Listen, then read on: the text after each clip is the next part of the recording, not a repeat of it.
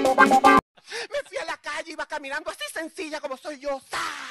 ¡Sa! ¡Sa! Y de repente llegó un escuadrón militar y me dice, mira, Móntate que estás reclutado. Un señor.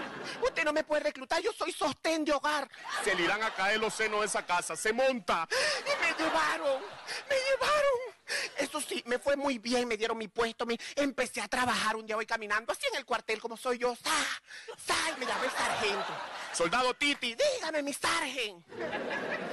necesito que me hagas un reporte. ¿Dónde está el soldado Porra? El soldado Porra dando las gorras. ¿Y el soldado Antón? El soldado Antón dando pantalón. ¿Y el soldado Gil? Dando fusil. ¿Y el soldado Angulo? Dando vergüenza en este batallón.